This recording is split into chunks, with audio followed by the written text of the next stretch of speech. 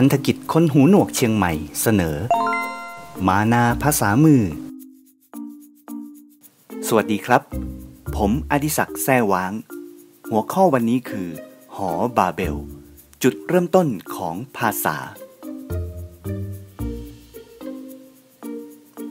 แนะนำคำศัพท์ภาษามือคริสเตียน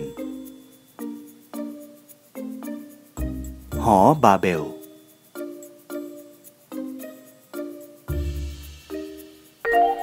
หอบาเบล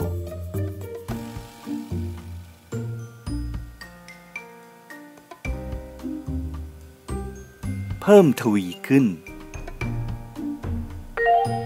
เพิ่มทวีขึ้น อบพยพ อบพยพ ภาษาเดียว ภาษาเดียวาษาแตกต่างกัน ภาษาแตกต่างกัน ไม่พอพระไทย ไม่พอพระไทย นมัสการ นมัสการ รูปเคารพรูปเคารพ ตามน้ำพระไทยตามน้ำพระไทยกราบไหว้ กราบไหว้ วุ่นวาย วุ่นวาย อธิษฐาน อธิษฐาน หอบาเบลคืออะไรคำถาม หอบาเบลคืออะไรคำตอบปฐมกาลบทที่ 10 ข้อที่1ถึง4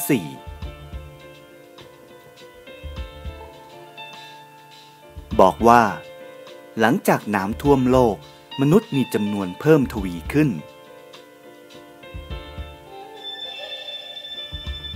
พวกเขาเกิดขึ้นมาจากครอบครัวของโนอาและพูดภาษาเดียวกัน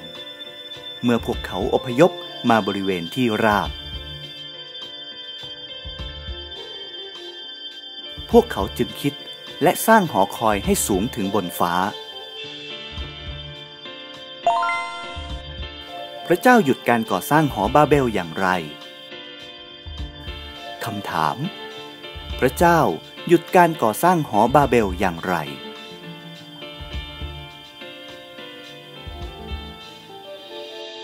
คำตอบ เมื่อพระเจ้ามาพบเห็นมนุษย์สร้างหอคอยสูงจึงไม่พอพระทยัย พระเจ้าทำให้พวกเขามีภาษาแตกต่างกัน และไม่สามารถสร้างหอคอยให้เสร็จได้ จึงหยุดก่อสร้างและแยกย้ายกันไปอยู่ตามที่ต่างๆของโลก เขาจึงเรียกเมืองและหอที่สร้างไม่เสร็จนั้นว่า หอบาเบล ซึ่งมีความหมายว่า วุ่นวาย เกิดอะไรขึ้นเมื่อผู้คนมีหลายภาษาและแยกย้ายกันไป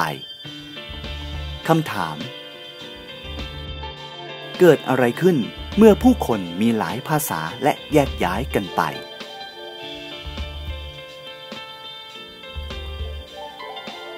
คำตอบ ในพระคัมภีร์บอกว่า มนุษย์เริ่มไม่สนใจพระเจ้า และเปลี่ยนไปกราบไหว้นมัสการรูปเคารพเป็นพระเจ้า พวกเขาอธิษฐานขอพรจากพระเจ้าปลอมที่เขาสร้างขึ้นเอง เขาไม่สนใจที่จะทำตามน้ำพระทัยของพระเจ้า และกลับทำสิ่งชั่วร้ายเพิ่มมากขึ้น สรุป หอบาเบล เป็นจุดเริ่มต้นของภาษาต่างๆ และเป็นความวุ่นวายที่เกิดขึ้นครั้งแรกของโลก ที่มนุษย์พูดกันไม่เข้าใจ จึงได้แยกย้ายกันไปทั่วโลก ผมหวังว่าเรื่องนี้จะเป็นประโยชน์ต่อคุณผู้ชมนะครับ ขอบคุณเพื่อนๆที่ติดตามดูนะครับ ตอนต่อไปเรายังมีเรื่องราวดีๆ ที่มีสาระความรู้มาแบ่งปันอีกมากมาย อย่าลืมกลับมาพบกันใหม่นะครับ